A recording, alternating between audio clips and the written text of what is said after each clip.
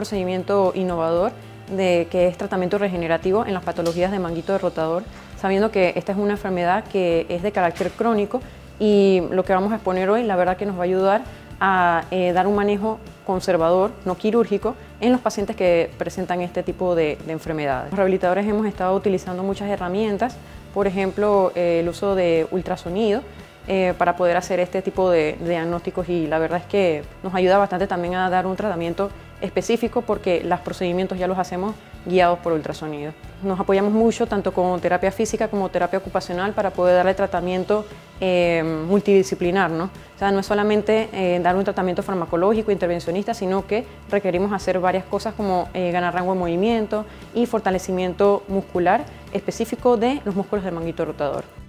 Caja de Seguro Social 2023, año de resultados.